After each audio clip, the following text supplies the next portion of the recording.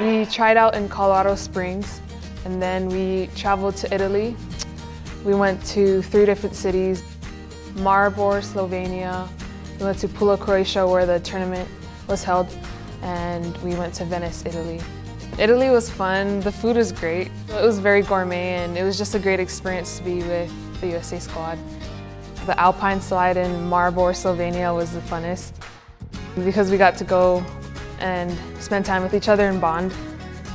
We all learned from each other. We had to adjust from day one. We learned a lot and I was just trying to be a sponge to soak up all the learning and try and be a better player. That means a lot, definitely, to be a part of the USA squad. It's a once-in-a-lifetime opportunity that I would cherish forever and it's wonderful playing for your country.